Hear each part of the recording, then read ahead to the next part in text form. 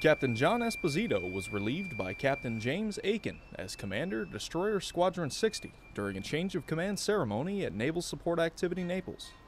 Vice Admiral Phil Davidson, Commander U.S. 6th Fleet, was the keynote speaker and said that he sincerely appreciated the phenomenal job Captain Esposito contributed to keeping Desron 60 vigilant and prepared.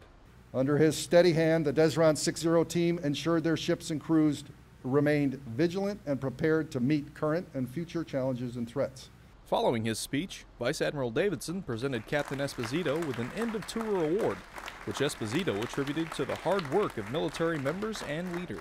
The list is almost endless, all working together to generate a favorable outcome for our nation that continues to be the envy of the world. It has been a privilege. Captain Esposito will report for duty to Joint Chiefs of Staff in Washington. Petty Officer Matt Wright, Naples, Italy.